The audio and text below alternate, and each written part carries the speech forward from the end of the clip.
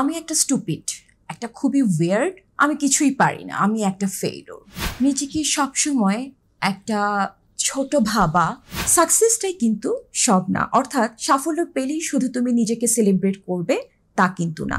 অব্র পনেরো বছর বয়স, একটা ইংলিশ মিডিয়াম স্কুলে পড়ছে।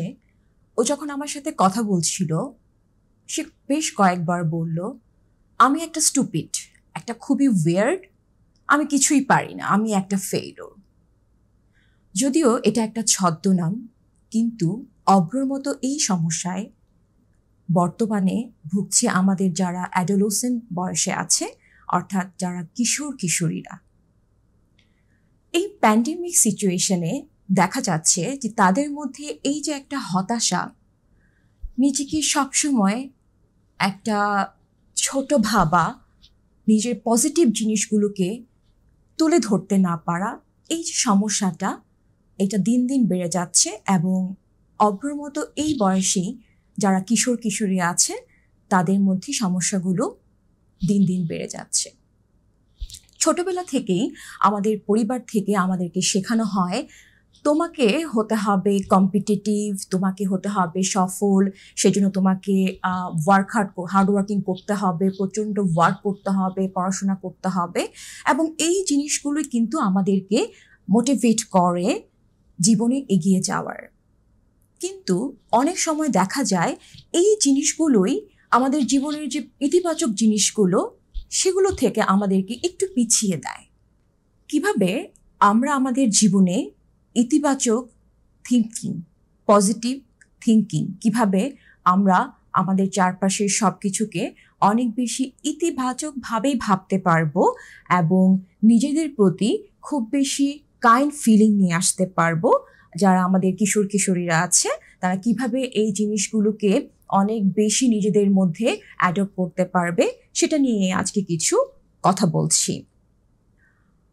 তুমি তোমার নিজেকে সেভাবেই ট্রিট করবে, যেভাবে তুমি তোমার বন্ধুকে ট্রিট করো। ধরো, তোমার কোনো বন্ধু যদি এসে তোমাকে বলে আমি একটা স্টুপিড আমি কিছুই করতে পারলাম না, আমি কিছুই করতে পারব না। তুমি নিশ্চয়ই তখন তাকে বলবে না হ্যাঁ তুই আসলেই একটা স্টুপিড তুমি তখন কি করো? তুমি তখন তার প্রতি এমপেথি শো করো, তুমি তাকে আরও বেশি উৎসাহ দাও, তার পজিটিভ জিনিসগুলো তার সামনে নিয়ে আসো এবং তাকে তুমি এনকারেজ করো। ঠিক এই জিনিসটা, অর্থাৎ তুমি যেভাবে তোমার বন্ধুকে ট্রিট করছ, সেভাবেই কিন্তু তোমার নিজেকে ট্রিট করতে হবে। এরপর সবসময় তোমার নিজেকে সেলিব্রেট করতে হবে যা তুমি করেছ। সবসময় তুমি তোমার এফোর্টটাকে অর্থাৎ একটা কাজ করার জন্য তুমি যে এফোর্টটা দিচ্ছ, তুমি যেই কষ্টটা করছ দ্যাটস অ্যান্ড সেটাই সব কিছু সেটাকে তুমি রেওয়ার্ড করো সেটাকে তুমি পুরস্কৃত করো? সাকসেসটাই কিন্তু সব না। অর্থাৎ সাফল্য পেলেই শুধু তুমি নিজেকে সেলিব্রেট করবে তা কিন্তু না। তোমার যে এফোর্টটা সেটাকেই তুমি সেলিব্রেট করবে। প্রতিদিন তুমি যদি দিনের শুরুতে এবং দিনের শেষে একটা লিস্ট তৈরি করো যে তুমি কি কি জিনিস অ্যাচিভ করেছ, অর্জন করেছ অনেক দিন পর তুমি দেখবে তোমার এই যে তালিকাটা সেটা কিন্তু অনেক বড় হয়ে গেছে। এবং তুমি বুঝতে পারবে কোন কোন জিনিসগুলোকে তুমি অ্যাচিভ করেছ এবং সেটাকে তোমার সেলিব্রেট করতে হবে। নিজেকে নিজে তুমি পুরস্কার দিবে এবং নিজে নিজে তুমি উদযাপন করবে। এরপর আর কি কীভাবে পজিটিভ ফিলিংগুলো আমরা বাড়াতে পারি? যখন তুমি কোনো কারণে ডাউন ফিল করছ তোমার খুব মন খারাপ বা প্রচণ্ড কোনো কিছুর উপর প্রচণ্ড রাগ হচ্ছে তখন তুমি নিজেকে ব্লেম করবে না। তুমি নিজেকে দায়ী করবে না।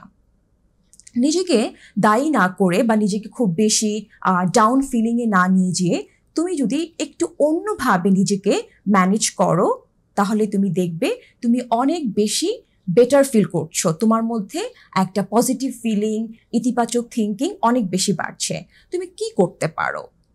তুমি একটা লম্বা, একটা রিল্যাক্সিং একটা বাথিং নিতে পারো, তুমি কোথাও হাঁটতে যেতে পারো, তোমার পছন্দের কোনো সিরিয়াল তুমি দেখতে পারো, তোমার পছন্দের কোনো খাবার এক্সলাইস কেক হট চকলেট যেটা তোমার ভালো লাগে, তুমি সেটা করতে পারো। তুমি তোমার ফ্রেন্ডের সাথে কথা বলে তোমার ইমোশনগুলো শেয়ার করতে পারো। আমরা একটা লম্বা সময় ব্যয় করি আমাদের নিজেদের কিছু নেগেটিভ থিঙ্ক জিনিসগুলো নিয়ে থিঙ্কিং করে। আমি দেখতে ভালো না, আমি দেখতে খুবই ওয়ার্ড আমি ফ্রেন্ডশিপ করতে পারি না, আমি স্মার্ট না। তুমি তোমার নিজেকে একসেপ্ট করো, তুমি যা। তুমি যেভাবে আছো, তুমি দেখতে যেরকম, তুমি যতটুকুই আছে তোমার, সেটা নিয়েই তুমি তোমার নিজেকে একসেপ্ট করো, তুমি তোমার নিজেকে গ্রহণ করো। প্রত্যেকটা মানুষেরই কিছু পজিটিভ কিছু স্ট্রেংথ ফ্যাক্টর থাকে, যেগুলোকে আমরা তার রেজিলিয়েন্স বলি। অর্থাৎ যেই জিনিসটা তার জন্য ইতিবাচক, যেই জিনিসটাকে সে তুলে যদি নিয়ে আসে তাহলে তার জীবনে সে অনেক বেশি এই জিনিসটাকে যদি সে এম্পাওয়ার করতে পারে, সে অনেক বেশি এগিয়ে যেতে পারে।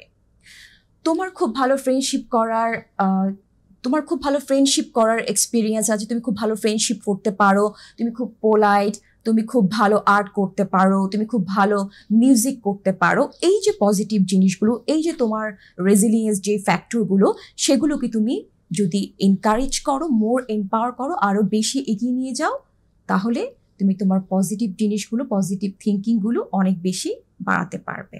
আমাদের মধ্যে সবসময় একটা প্রবণতা থাকে আমাদের যে ক্রিটিক্যাল ইনার ভয়েস অর্থাৎ নিজেকে সমালোচনা করা।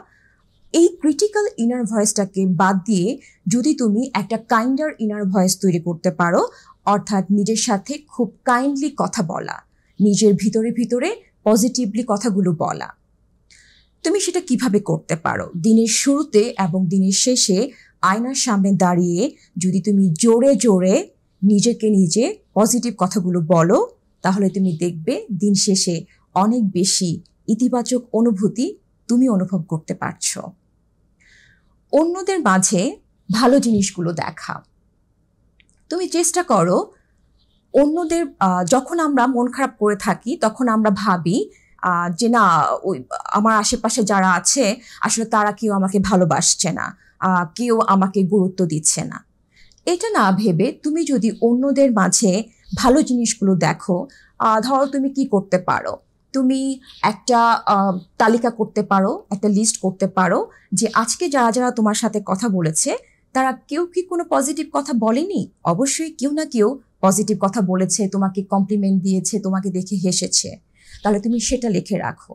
সো যখন তুমি অন্যের প্রতি কাইন্ড ফিল করতে পারবে এবং অন্যের প্রতি তুমি দেখতে পারবে যে তার ফিলিং তার অনুভূতি তোমার প্রতিটা কেমন। এই জিনিসটা যখন তুমি বের করতে পারবে, তখন কিন্তু তুমি নিজে অনেক বেশি একটা ইতিবাচক অনুভূতি নিজের মধ্যে অনুভব করতে পারবে। আমাদের যে ক্রিটিক্যাল ইনার ভয়েসটা আছে, সে সবসময় আমাদের দোষগুলো খুঁজে বের করে। সো তুমি যদি সেই দোষগুলোর দিকে খুব বেশি মনোযোগ না দিয়ে তুমি তোমার নিজেকে ফরগিভ করতে শেখো অর্থাৎ তুমি তোমার নিজেকে ক্ষমা করতে শেখো। তুমি যদি এভাবে ভাবো যে না, অন্য অনেকেই ভুল করে, শুধু আমি ভুল করছি তা না।